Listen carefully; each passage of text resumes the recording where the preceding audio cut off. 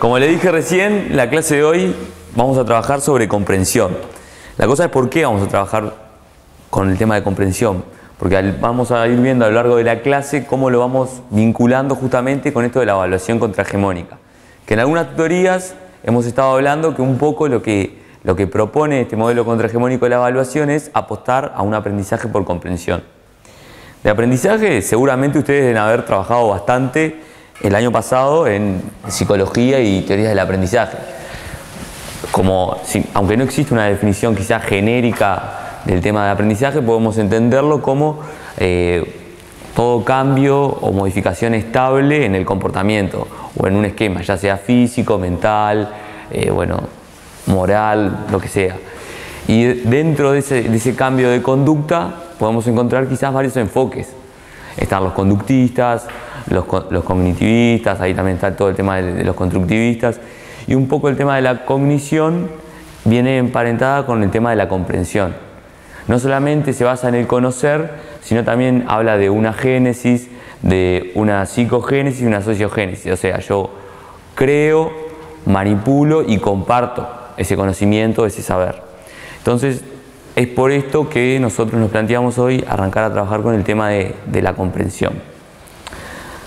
Así como para arrancar a relacionarlo con el teórico de, la clase pasada, ¿se acuerdan que terminábamos con esta, con esta comparación que hacía Sales entre un modelo de aprendizaje más tradicional, emparentado no con la educación física, con un modelo más crítico del aprendizaje? Donde nosotros como que resaltábamos el tema de se aprende en relación con el otro y por aproximaciones sucesivas con avances y retrocesos. Es decir, no un aprendizaje lineal, memorístico, de repetición. Esto de que se aprenda en relación con el otro, también repito, en algunas teorías lo vimos, que seguramente ustedes el año pasado dieron autores como Vygotsky, Abzubel, bueno, eh, Pillon Rivière, autores que hablan de un aprendizaje de corte social. Por ejemplo, Vygotsky, la zona de desarrollo próximo. Teníamos ese triángulo didáctico en, cierta noósfera y en ese, en ese relacionamiento se podía llegar a dar el aprendizaje. Obviamente el aprendizaje es algo interno, pero justamente en el contacto con otro se genera este aprendizaje. Es un poco lo que plantea el modelo crítico, en contraposición a este aprendizaje más memorístico, repetitivo. Bien, y justamente el producto del aprendizaje eh, es un esquema referencial y operatorio enriquecido. Lo que hablábamos de, de no sé si recuerdan, cuando, cuando Mariana estaba trabajando el texto de Sales y Torres, que se detuvo un poco a explicar todo por dónde iba el tema, el tema del ECRO. Bien, entonces teníamos el modelo eh, crítico del aprendizaje y el modelo de aprendizaje tradicional. Dentro del modelo de aprendizaje tradicional, lo que básicamente nos centramos en los, son en los conocimientos y en las habilidades. Algo que me faltó decirles que, bueno, lo que vamos a estar hablando ahora de comprensión estamos trabajando en base a los textos que ustedes tienen en EVA de Garner, eh, perdón, la entrevista a Garner, sí, y un texto de, Perkins. ¿Bien? Bueno, estos autores lo que plantean es que ese conocimiento de un aprendizaje más de corte tradicional es, es información a la mano, o sea, aquella información que uno adquiere. ¿Bien? Y las habilidades son el desempeño de una rutina que la persona es capaz de realizar. Tema de conocimiento, por ejemplo, tengo el conocimiento de que Uruguay está en América del Sur. Eso es un conocimiento. Básicamente yo conozco esa información y, no hago más nada. Tema de habilidad, bueno, capaz que se puede emparentar también con una habilidad eh, motriz o una técnica deportiva. Pero básicamente se limita a la repetición de, de ese gesto motor. Que como ustedes ven ahí tienen la X, es totalmente distinto a lo que propone la comprensión. La comprensión no es solo información, no es solo el saber hacer, sino que implica un par más de cosas que van a ser las que vamos a, estar viendo ahora después. ¿Cómo yo, como docente, puedo darme cuenta si mi alumno eh, adquirió ese conocimiento, adquirió esa habilidad? Básicamente por lo que decíamos antes que proponía el modelo más tradicional del aprendizaje, la repetición. Yo se lo pido, le pido que me responda tal pregunta, bastante lineal, bastante acotada, si me responde lo que se supone yo le enseñé, aprendió. Lo mismo que con la habilidad le pido que me demuestre esa habilidad, si la sabe reproducir, bien. Para mí, en ese, en ese enfoque del aprendizaje, ese alumno aprendió.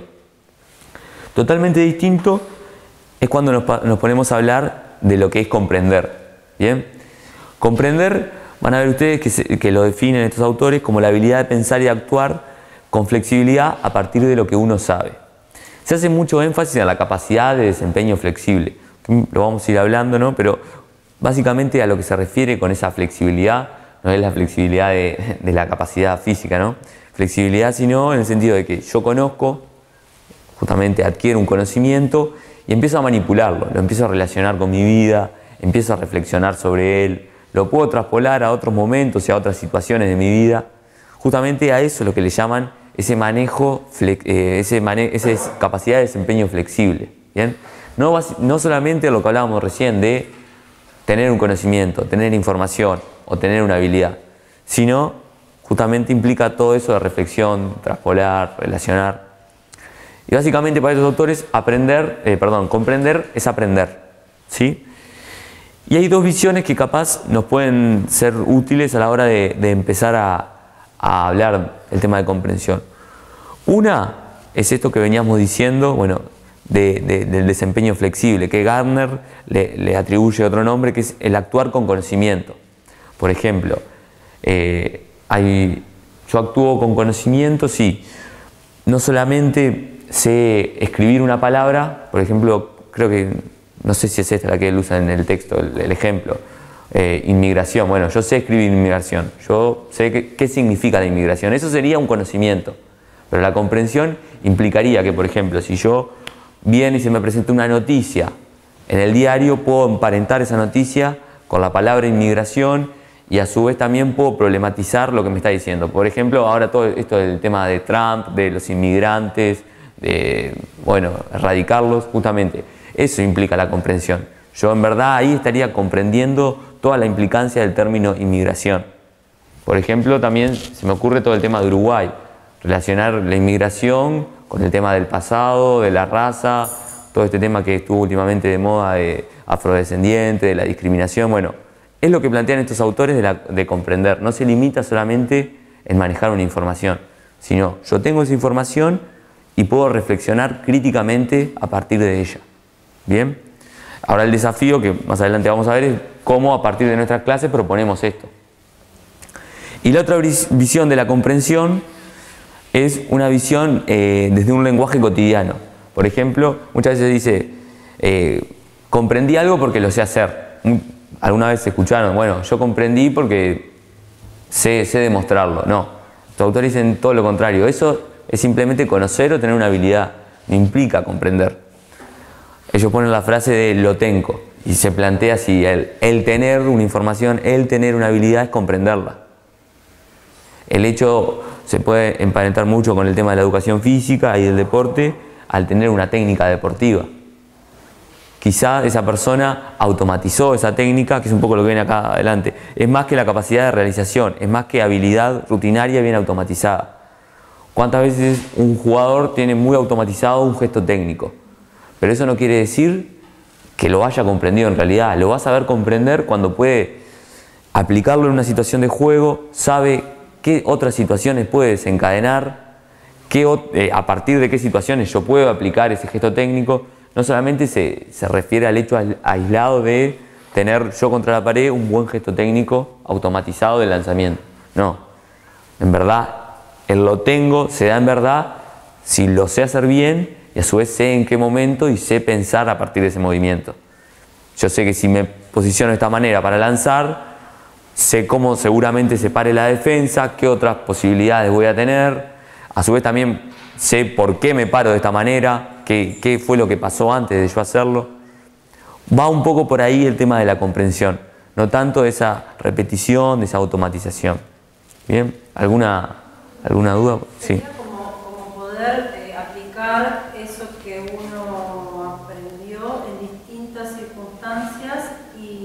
evaluando las posibilidades a futuro eh, que puede... Claro, no, claro, básicamente el aprendizaje por comprensión es un poco lo que vos decís, no es solamente repetir, no es solamente decir una información, solamente hacer un gesto, sino saber por qué lo hago, qué implica que lo haga, saber en qué situaciones de mi vida lo hago, saber también cómo adaptarlo, es un poco lo que, lo que plantea el aprendizaje por comprensión.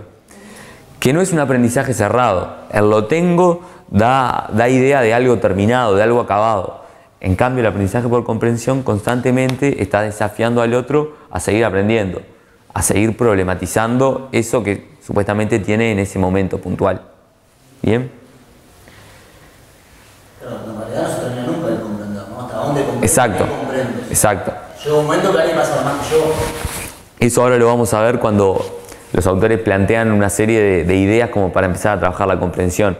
Yo puedo hacer una especie de, corte, entre comillas, para ver si comprendió o no, pero en realidad siempre tiene que estar esa instancia de seguir aprendiendo, seguir eh, problematizando ese tema. Eso es lo que un poco a lo que apunta la comprensión. El término que está entre comillas de desempeño comprensivo es un término que aparece bastante en, el texto que, le subimos de, Perkins, que un poco hace referencia a lo, que, veníamos hablando, reconocemos la comprensión por medio de un criterio de desempeño flexible. Bueno, es, eh, la comprensión se, se presenta cuando la, la gente puede pensar y actuar con flexibilidad a partir de lo que ya sabe. Comprender un tópico no quiere decir ser capaz de desempeñarse flexiblemente, perdón, comprender un tópico quiere decir ser capaz de, de desempeñarse flexiblemente a partir de él.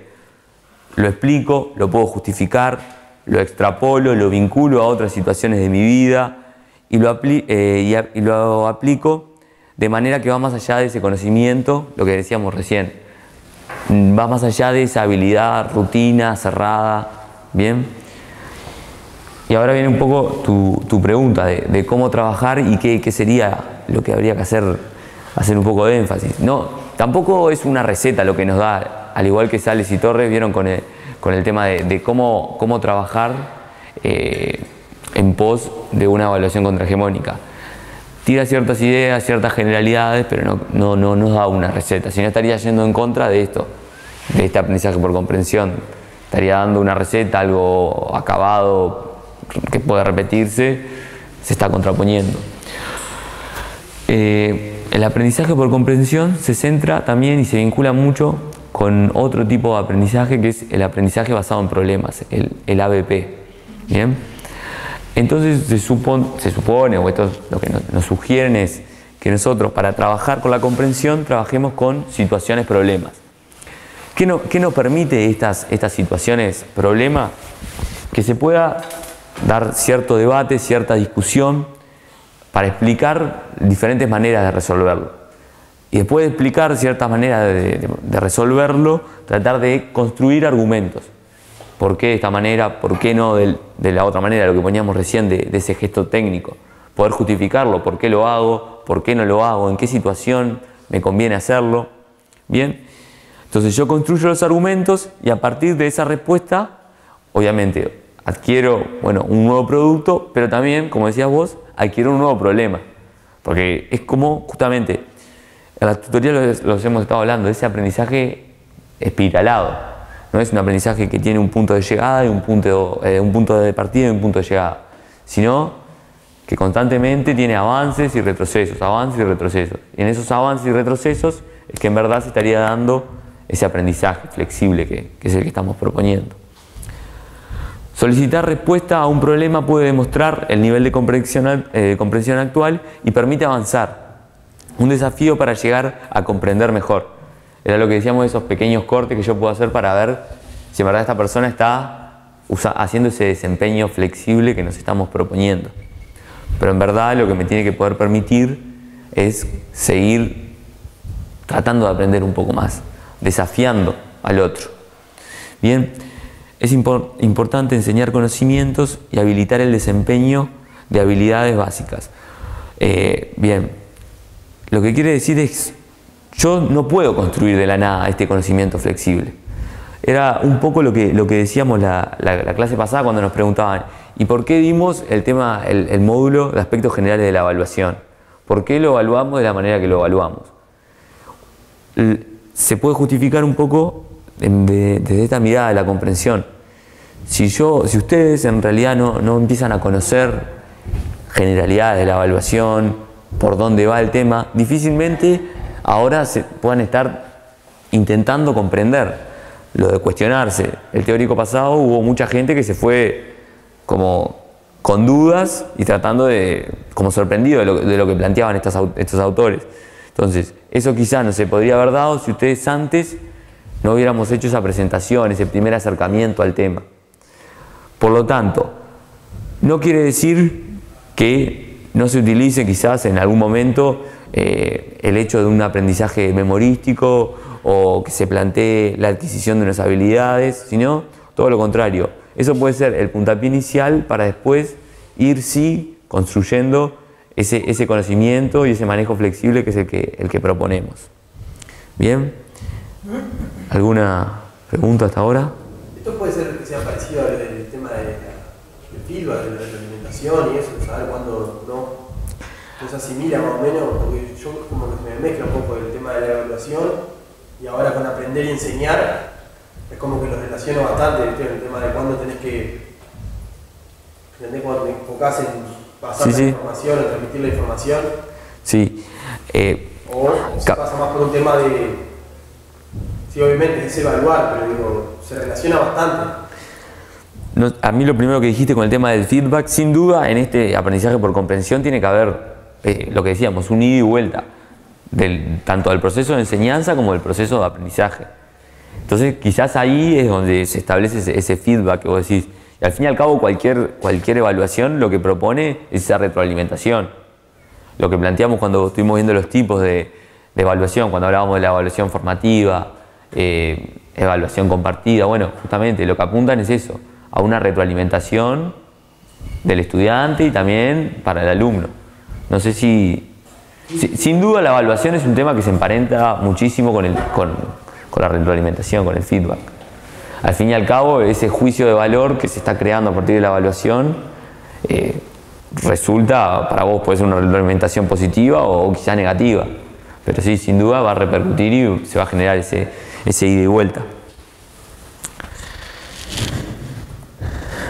Bien, ahora también lo que, lo que nos planteaban los autores, más Perkins, habla que, que lo que en algún momento de nuestra vida puede ser eh, un aprendizaje comprensivo o ese desafío a la comprensión, en otro momento no. Sin duda, la forma en que se va a plantear eh, la enseñanza, quizás a niños pequeños, no va a ser lo mismo que trabajarlo con ustedes. En- básicamente porque van a ver, eh, ustedes van a tener diferente nivel de, de poder relacionar esos conceptos que están adquiriendo, de relacionarlos con su vida. Entonces, no siempre se puede decir que este, apren- aprendiz- o el aprendizaje que yo quiero eh, promover entre mis estudiantes es comprensivo, también va mucho de la mano del tema, hay temas que se prestan más a que se, se realice este manejo flexible del conocimiento, hay otros que quizá son un tanto más, más cerrados, igualmente deja la puerta abierta, por ejemplo, el caso de las matemáticas, uno podría decir, bueno, difícilmente se puede hacer un aprendizaje por comprensión de las matemáticas. 2 más 2 es 4. Bueno, estos autores dicen que está bien, hay contenidos que son un tanto más cerrados, pero sin duda, desde esos cerrados se puede encontrar la puerta para relacionarlo y llevarlo a otros momentos, a otros momentos de la vida. ¿Bien? En realidad, en la matemática pasa lo mismo, también se puede dar el aprendizaje por comprensión. Sí, sí. Sí, sí, por eso mismo. Bueno, y estos dos autores, Perkins y Garner, trabajan en un proyecto que se llama Proyecto Cero. Ellos son, trabajan en la Universidad de Harvard. Bueno, este Proyecto Cero justamente tiene una gran conexión con estos países que utilizan en, en, su, en su plan educativo este modelo por comprensión, desde la primera A hasta básicamente todo el sistema educativo se organiza en la comprensión y no tanto en este aprendizaje memorístico. Obviamente, como decíamos recién, en algunos momentos yo necesito que el otro adquiera ese conocimiento o esa habilidad, si no difícilmente pueda construir lo que sigue. Bien.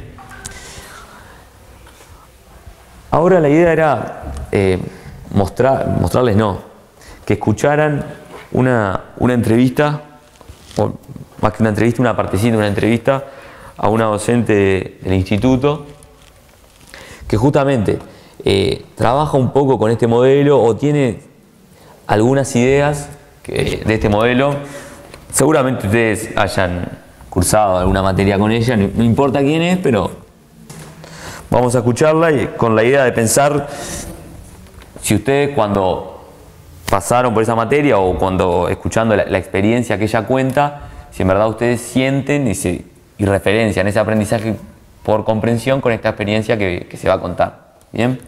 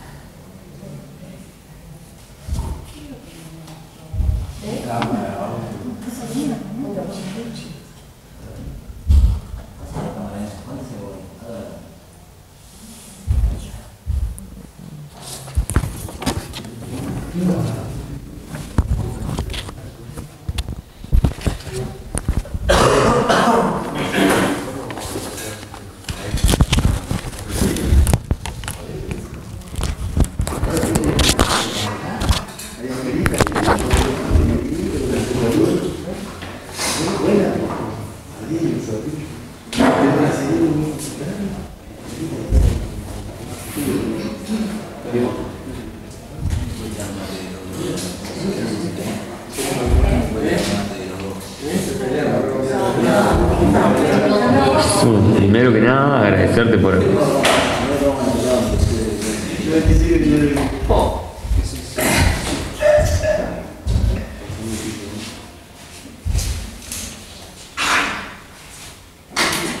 Bien, son, son dos partecitas cortas las que vamos a explicar y ya enseguida hablamos un poco en base a lo que ustedes les, les surja o puedan referenciar con esto que estábamos viendo de la comprensión con el discurso de la, de la docente.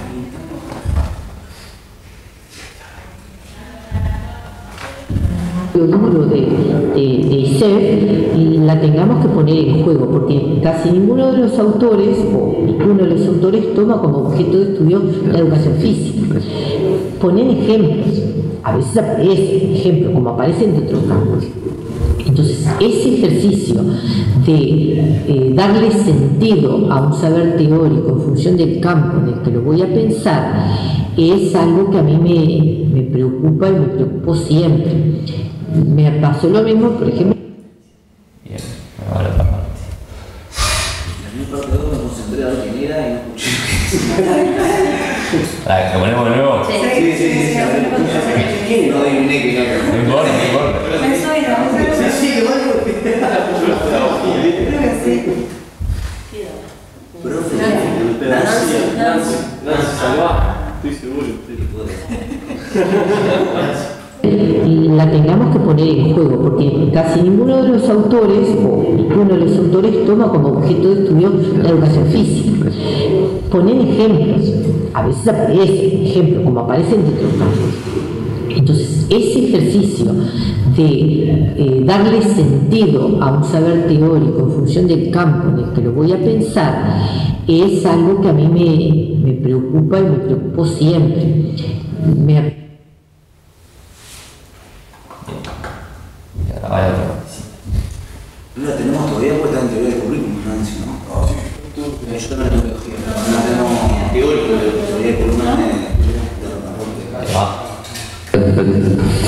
Este, entonces esa, eh, esa vinculación con el campo específico de la formación hace que tenga que estar atravesado por, por una concepción de extensión. Es decir, el saber no sirve solo para llevar al título de licenciado de o profesor de, sino que tiene que ver con qué hago con eso cuando tengo el título y voy a, trabajar en campo profesional.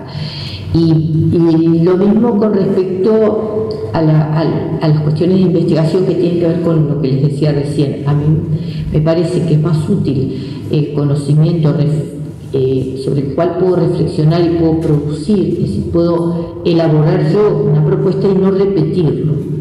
Eh, más allá que para reelaborarlo lo tengo que conocer. O sea, me, me asegura el que elabora ese grado de apropiación que lo conoce. Sí, se puede crear sobre la nada, digamos. Entonces, este, mi, mi propósito es que, bueno, conozcan las fuentes, conozcan este, las distintas propuestas desde, desde los autores que son los más representativos los que elegimos como para abordar esas temáticas, pero a su vez que les permitan pensarlo este, a a la luz de, de lo que es la realidad uruguaya, la realidad del campo específico y ustedes como personas. Por eso yo, no sé cómo me quedó escrito ahí, capaz que no se entendía mucho, tiene que ver con esto, ¿no? Con este, elaborar un conocimiento y no repetir un conocimiento. Eh, y, también con cuestionar el conocimiento, es decir, eh, no es solamente buscando una adherencia, una adhesión, una adaptación, por eso tratamos y eso los propios planes.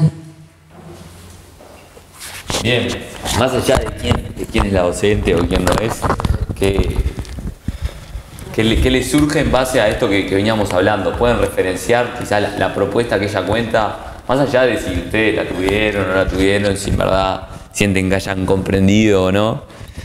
No, yo lo que me sale ahora es tipo, comprender, eh, lo que vas a comprender por fuera de tu zona de confort, zona de la que te dan, no quedarte con lo que te dan, o sea, me, me pongo un costadito para intentar comprender eso que me están dando. Sin duda, eh, ese desafío que se plantea es un poco salir de eso, de esa, como vos decías, zona de confort. Si yo voy, repito, voy, me, me dan algo y me dicen, es así, vos eso vas al parcial, lo pones así, sabes que no te, va, no te va a cuestionar, no te va a movilizar nada. Capaz que si vos te animás a salir de, ese, de eso acabado, de eso terminado, empiezan a haber otras cuestiones y otras dudas como la del, teórico pasado. La de, bueno, entonces, ¿qué, qué hacemos con esto? Si, si en verdad sabemos que estamos reproduciendo ciertas cosas que no queremos, ¿qué pasa? Si vos te lo arrancás a cuestionar, sin duda te va, te va a movilizar y te va a hacer salir de, esa zona de confort o de esa tranquilidad que, que, te da un conocimiento cerrado y sin posibilidad de cuestionar. ¿Alguna? Fuera de la zona de confort hay una infinidad de opciones para comprender lo que sea. Sí, en esa infinidad capaz que llegas a una solución, pero es una solución momentánea porque ya enseguida viene otra problematización. Sí, sin duda. Te equivocas pila de veces también y perdés parciales si haces lo que Y la manera de comprender. Tengo cuatro pedidos. Bueno, pero, No salí de la zona pero eso también va un poco en, en cómo se, se plantea la propuesta. Capaz que si se están trabajando un grupo de autores y durante las clases nunca se hace el ejercicio ese de referenciar con lo que podemos decir nosotros con- que conocemos de la educación física o tratar de problematizar problemas de nuestra práctica diaria como profe, seguramente en el momento del parcial, si antes no se hizo, no, creo que se haga en el parcial. Por eso también va un poco como en sintonía el tema de, la enseñanza con cómo yo planteo esta propuesta de, la comprensión. Ojo, capaz que hay docentes que los hacen, lo hacen. Te- durante el curso te dan un conocimiento como si fuera paquetito que le estoy, tirando. En el momento del parcial te pido que, que reflexiones o que hagas algo que en verdad nunca, nunca sucedió durante el curso. Poco el aprendizaje por comprensión, lo que decíamos, eh, cuando cómo trabajar en pos de la comprensión. Yo tengo que estar problematizando eso. La,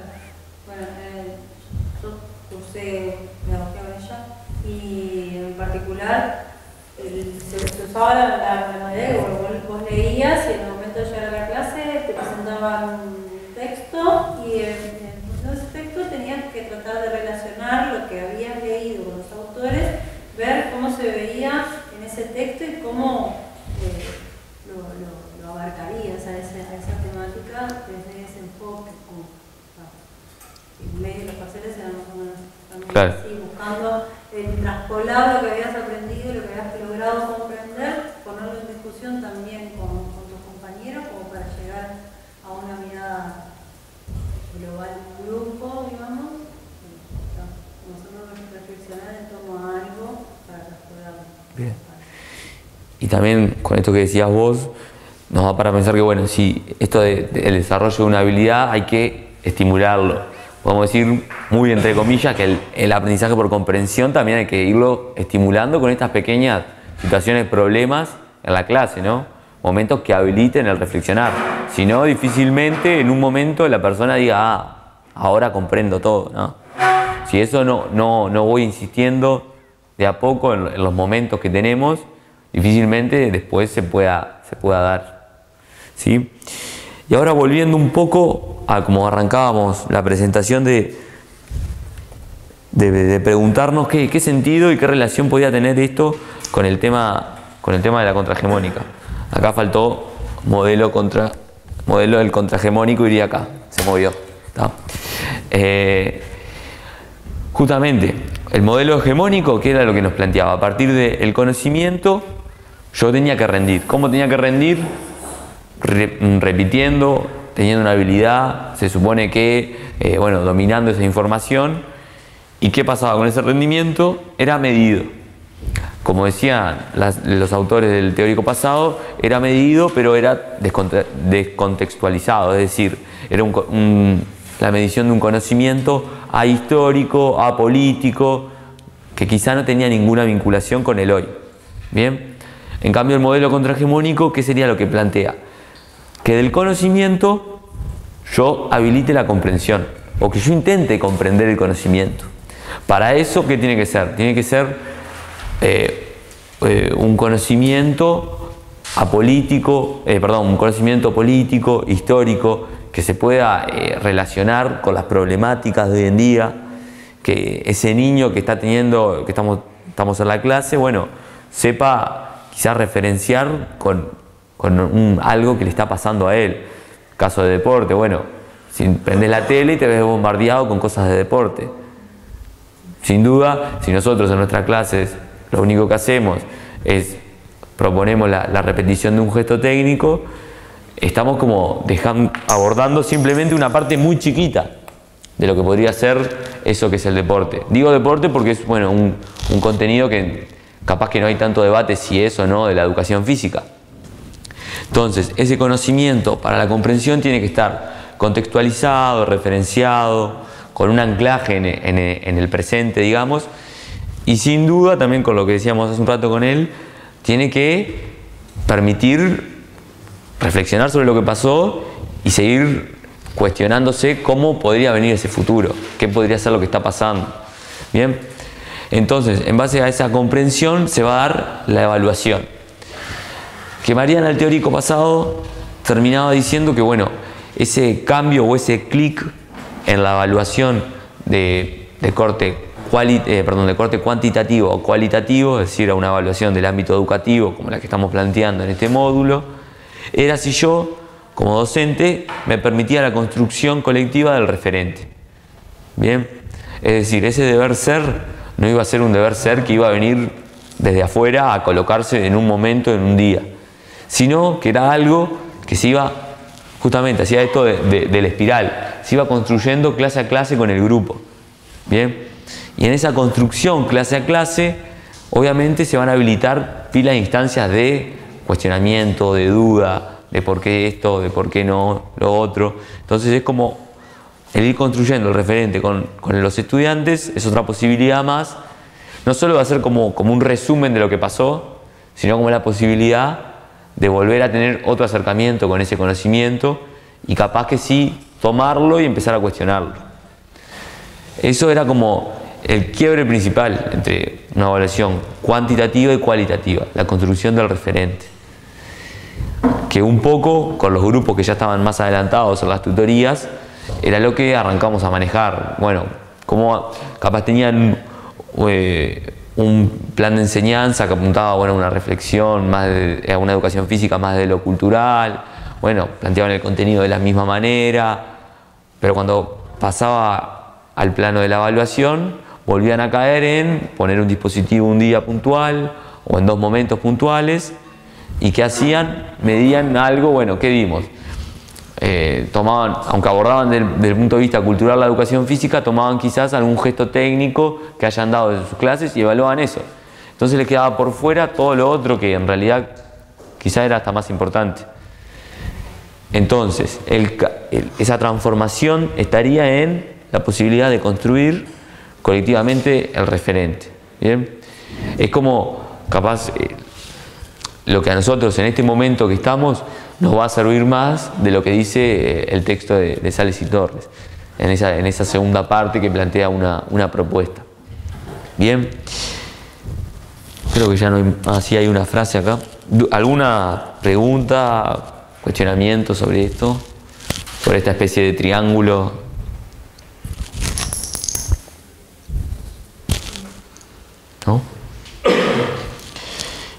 Bien, y acá como para ir cerrando esta primera parte de la clase, una frase justamente de Perkin que dice, escuelas inteligentes son las que introducen toda posibilidad, progreso en el campo de la enseñanza y el aprendizaje, para que los estudiantes no solo conozcan, sino que piensen a partir de lo que conocen. Bien, es como ese desafío de, yo conozco esto, bueno, pero no me quedo simplemente en conocer, en reproducir eso, sino trato de reflexionar y que tenga un sentido para mí un sentido más allá de él, como decía el compañero, de exonerar, de, pasar el examen, ¿eh? sino como que incorporarlo de verdad más allá de la repetición. Bien, ¿alguna, alguna duda como para comentario, para liquidar esta primera parte?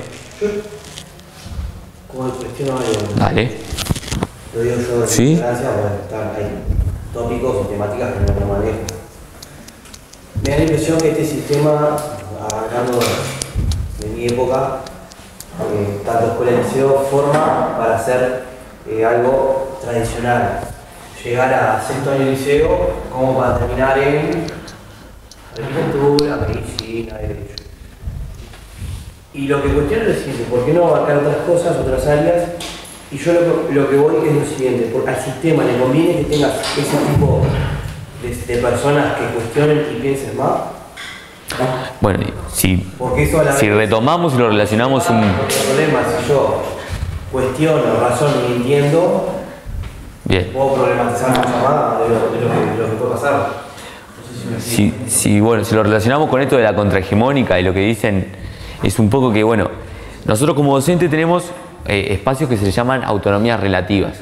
En esas autonomías relativas está en mí seguir reproduciendo eso que vos decís, de que quizá no estaría muy bueno, de que el, el estudiante se empieza a cuestionar algunas cosas. Entonces, ¿qué hago? Pongo a circular un conocimiento para que sea simplemente adquirido, que pueda repetirse y yo poder medirlo y responder al sistema. ¿Bien? En cambio, si yo en esos espacios autonomía relativa, que aunque sean pocos y aunque quizás sean los menos visibles, pero yo en verdad eh, en ese pequeño espacio empiezo a tratar de transformar algo y planteo este sí, este, este tema del aprendizaje por comprensión, capaz que puedo estar rompiendo esa hegemonía. Obviamente, era como, como se planteaba, los que están arriba no van a querer dejar de estar arriba, el poder va a querer seguir estando y siendo poder. Difícilmente desde arriba se te plantee, bueno, un modelo educativo que apele a la comprensión.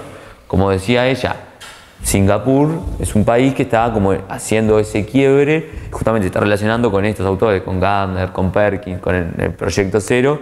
Es un proyecto que justamente apela a que desde las más tempranas edades el aprendizaje y la enseñanza habilite a la comprensión, a cuestionar. Sin duda, eso requiere eh, como un- una apertura de, todas las, partes del sistema y también la, como ser capaz de, aceptar que capaz que lo que estás haciendo vos no está bien. Claro, yo por eso, porque siempre lo diferente, o lo contrario a algo, es castigado. Simbólico, en un sentido. Porque digo, pasa a veces que vos te podés hablar con una persona sobre una determinada materia y sabe, o capaz que vos también algo sabés que fundamentás con el autor y ya eso, yo capaz que por cuestiono, razono, pienso también. Imagínate si eso se transponerá ya de, una base muy chida. Cuando lleguen al liceo, se llevan con esa calidad crítica, digo, no sé cómo sería, por eso es lo que voy, cuestión. Claro. Igual el tema del aprendizaje por comprensión no solo va en el tema de manejar autores, sino que va mucho más allá de, solamente eso, sino de- de ese poder comprensivo, de, manejo flexible de cualquier conocimiento, como decíamos recién, de hasta de un conocimiento de, de dónde se ubica algo, de referenciar el tema, decíamos, bueno, sé lo que, lo que significa la palabra inmigración, pero puedo problematizar el significado de esa palabra, la implicancia cultural que tiene, dependiendo del país, por ejemplo, como hablábamos del conocimiento, la verdadera comprensión de un gesto técnico. Ahí, atándolo con lo que decías vos, no hay ningún autor. Y sin duda, este aprendizaje por comprensión plantea haciendo referencia a lo que vos planteabas, de capaz llega un momento del sistema que va a tener que cambiar todo. Por eso no es que, bueno, capaz que nosotros desde acá podemos tener un impulso de, bueno, proponer esto de la comprensión. Pero si en verdad el cambio no se ve en todo, desde, desde las partes más bajas, bueno, va a ser complejo. En el caso del modelo Singapur, por ejemplo, este, no fue que se implementó a nivel de toda la enseñanza de una, sino que se empezó a implementar en los grados Claro. bajos y a medida que esos grados que empezaban con ese modelo eh, fue cambiando la, la mentalidad, digamos, la forma de enseñar, empezaron a avanzar en todos los años y ahora está toda la escolaridad eh, integrada en ese lugar.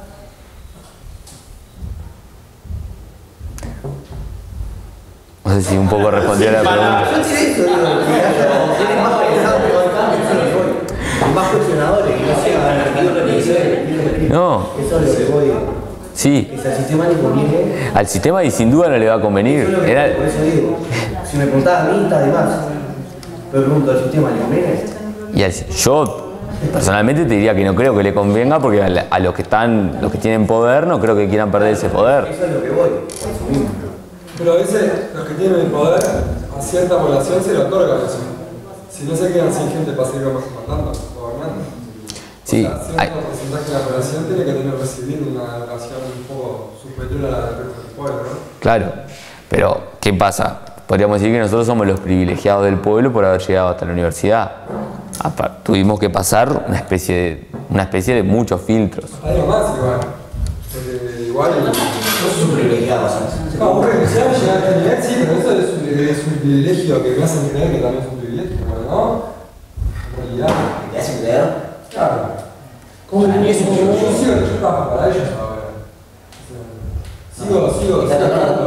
Y bueno, que Bueno, pero cuando tenés. Mirá. Lo que dentro de para salir también. lo que planteo un poco, lo que vimos en la clase pasada es, trayéndolo más a la parte de evaluación, la- por ejemplo, la calificación va a estar, vos vas a seguir estando dentro del sistema. La cosa es cómo te relacionás con ese sistema y cómo te relacionás en el caso de la evaluación con la calificación. Vos, estando dentro del sistema, podés a partir de estos espacios de esas libertades muy relativas, empezar a tener otra posición, estando dentro, ¿no? Lo decíamos con el caso de la calificación, no es lo mismo que yo la calificación venga y la imponga o me la impongan a mí, porque estoy en el liceo, tiene que aparecer el número. Pero cómo llevo ese número puede ser totalmente distinto que si pongo lo que a mí me parece, lo que me dice un director, a que si doy la posibilidad de que se vaya construyendo entre los que estamos en, ese, en esa clase implicados. O sea, yo estoy dentro del sistema, estoy poniendo una nota, pero le estoy haciendo como, sé, como un, guiño porque le estoy poniendo como en verdad a mí me parece que, que se debería construir esto de la sociedad y, de- del conocimiento. No sé, capaz que tu pregunta o, tu planteo va mucho más allá de... Sí, va. Ahora, yo, yo, Bueno, vos dijiste que escribís con bien.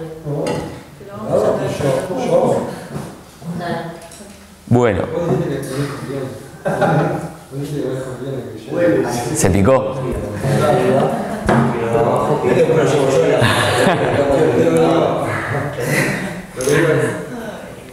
es, ellos, ellos sí llegaron allá. Y si ellos llegaron ellos supuestamente sí tienen capacidad. ¿No? No tienen que gobiernan y todo, ellos tienen que tener supuestamente esa capacidad. Y a vos no te la quieren dar, para que vos no puedas ir en contra de ellos tampoco. Pero a cierta población sí, sí se dan, porque es lo que después piensa para ellos y todo, no sé. Capaz me estoy equivocando, capaz que estoy diciendo un pedazo yo. No, te entiendo por dónde va, sí. Yo lo, lo, lo más por lado político, pero sí, te entiendo. Claro, sí, por lado político ellos. Sí, ya lado político yo pienso que... Pero una decisión ¿verdad? ¿Qué opinas, Sandra?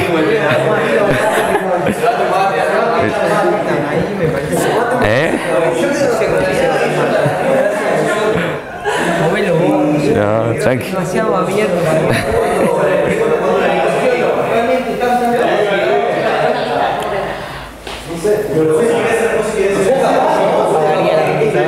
Sí, repartimos. Bueno, pará. Tenemos, tenemos una hora para, capaz que los grupos que se formen ahora discutir esto, si quieren discutirlo. y plantear eh, una especie de, trabajo, como decíamos. Ustedes tuvieron que, fichar para ayer eh, textos sobre la, evaluación en la educación física. Un poco la- Sí, tres, el, cuarto, si no estabas registrado en esa página, no, no entrabas. Pero está, por eso trajimos acá tres. La idea es ahora dividirnos en tres grupos más o menos parejos y trabajar en base a esos textos. Trabajar básicamente haciendo un resumen muy breve, muy simple de, de lo que quiere decir estos autores que hablan de educación física, pero de evaluación también.